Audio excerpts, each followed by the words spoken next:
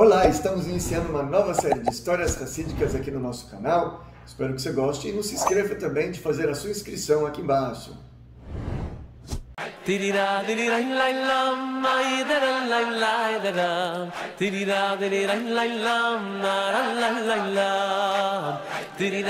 Semana passada, no capítulo 1, falando sobre Benjamin ou Binyamin o Mascate, que era um grande judeu, um grande místico, um grande tzadik, com poderes extraordinários e que ele mantinha sua identidade secreta, porém descobriram que ele era um grande tzadik enquanto que ele estava fora da cidade.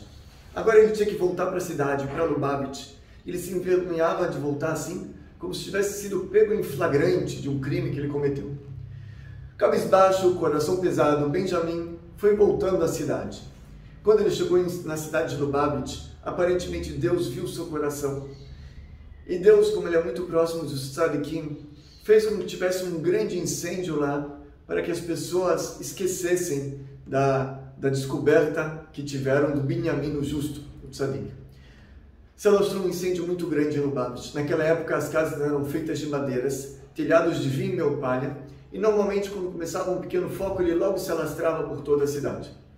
A cidade foi consumida pelo fogo na, na sua totalidade.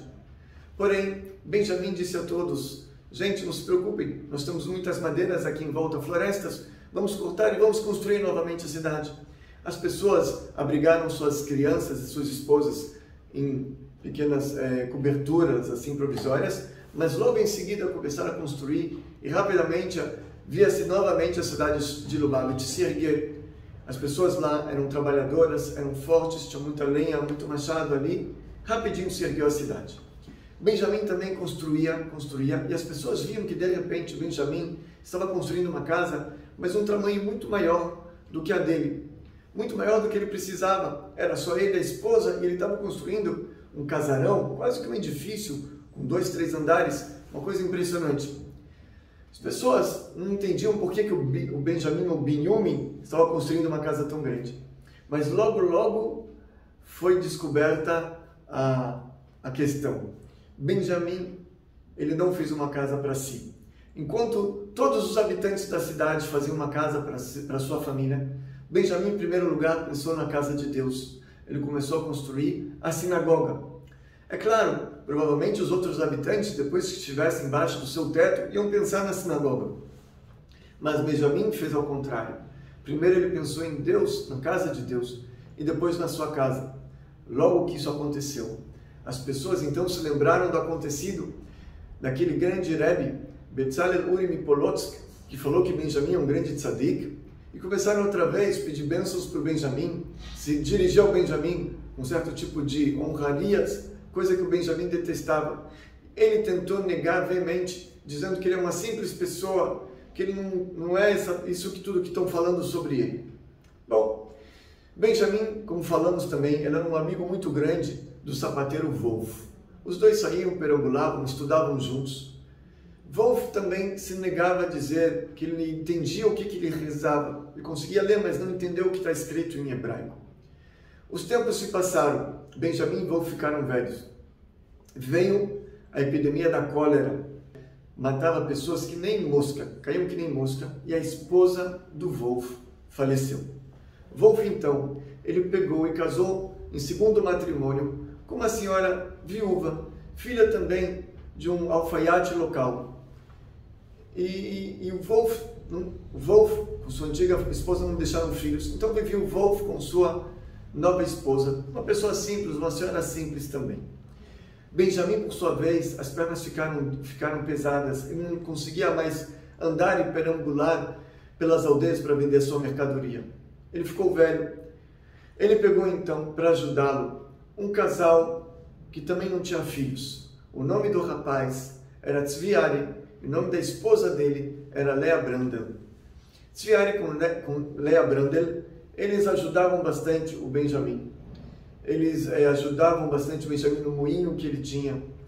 E assim traziam um pouco de sustento para o Benjamin. E ele gostava, Benjamin gostava muito desse casal. Passando os anos, Benjamin se sentiu muito fraco ele pede para chamar primeiro a Hebra Kadish. Hebra Kadish é a sociedade de, do cemitério israelita. Ele dá orientação para Reva Kadish como ele quer que seja feito o enterro dele, aonde, quer, aonde que ele quer estar enterrado. Pediu para reservar o jazigo ao lado para a esposa dele, a Sara. Depois pediu para chamar o Tzviari e deu uma orientação para ele, dizendo para o Tzviari que a propriedade que ele deixasse, junto com a esposa, deveria ser, servir de uma, de uma, uma hospedaria para hóspedes, para viajantes judeus que não têm de dormir, e que a casa deveria estar aberto, aberta para todas as pessoas que necessitavam, que ele ajudasse os órfãos. Chamou a Sara, sua esposa se despediu dela, e depois todos saíram, ele chamou o Wolf, e ele ficou com algumas horas com o Wolf do lado do leito dele. O que eles falaram ali de segredos, ninguém sabe. Talvez segredos muito grandes, místicos, esotéricos, cabalísticos. E assim, Benjamin devolveu a alma ao seu Criador. O funeral de Benjamin foi feito como ele pediu, de uma forma bem discreta, sem presença de muitas, pessoas. Passa-se um mês, sua esposa Sara adoece e falece. Enterraram ela ao lado do Benjamin, seu esposo, como o Benjamin havia pedido. De outro lado, Tzviari e Leah Brandon, o casal de órfãos, o casal, não de órfãos, mas o casal que eles adotaram, eles cumpriram todos os pedidos de Benjamim. A casa estava aberta para todos e eles adotaram órfãos que eles criavam como se fossem seus filhos. Porém, com Wolf aconteceu algo inesperado. Um belo dia chegou em Lubavitch um viajante e quando ele escutou falar do Wolf, que morava naquela cidade, quando ele viu o Wolf, ele falou: Esse Wolf é o grande gênio da Torá da cidade de Lutsk. Vocês não sabem? Ele é um grande natural, um grandioso rabino, um grande sábio, um gênio da Torá. E ele casou com a filha do grande gênio da Torá, o rabino de Lutsk, Yitzhak Gershon. Quando o Wolf escutou aquilo, ele ficou, não sabia o que fazer. Ele queria até o final da vida esconder a grandeza dele, a sua verdadeira identidade de um tzadik, de um sábio, de um estudioso. E agora o que ele faz? Agora todos entenderam também por que, que Benjamin era amigo de Wolf. Os dois saíam também para estudar juntos. Isso explica tudo já.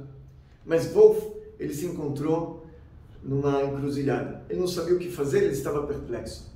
Ele agora poderia ter oportunidade de viver, de viver uma vida com muitas honrarias, reconhecimento, o que traria para ele também, provavelmente, um sustento mais digno, sem precisar, sem precisar perambular por todas as aldeias, consertando sapatos de pessoas. Mas era a última coisa que ele desejava na vida dele, era o reconhecimento, as honrarias. Wolf não poderia ficar mais em Lubavitch. Ele agora teria que ir para algum outro lugar, alguma outra cidade. Porém, a primeira esposa que era filha de um grande rabino, um tzadik. Ela estava pronta a perambular pelas cidades junto com seu marido Wolf, no desconhecimento, sem revelar a grande identidade do rabino. Mas agora sua nova esposa, uma mulher simples, filha do alfaiate da cidade, ela estaria pronta a perambular aí afora pelo mundo junto com seu marido Wolf, já numa certa idade, sem paradeiro, sem reconhecimento. Ela estaria pronta para tudo isso? Wolf, ele estava em cima do muro. Ele não sabia o que fazer. E ele chamou a esposa e deu para ela duas opções. A primeira opção é: vamos juntos, você me acompanha para algumas cidades até a gente achar um local onde as pessoas não me conheçam, onde nós possamos morar juntos é, no anonimato. E a segunda opção, se você não quiser me acompanhar, eu vou lhe dar o git, eu vou lhe dar o divórcio, você seja feliz. E eu vou buscar o meu caminho do anonimato. Mas aqui é impossível ficar mais. A esposa, a, a filha do, alfaiate, ela optou pela primeira opção e falou: Ok, vamos juntos. E assim, Wolf e sua esposa saíram para procurar um novo destino. No próximo capítulo, nós vamos ver o confronto do Wolf com um padre em praça pública, uma discussão teológica que eles tiveram, e com isso Wolf conseguiu salvar o povo judeu. Tá bom? Até lá!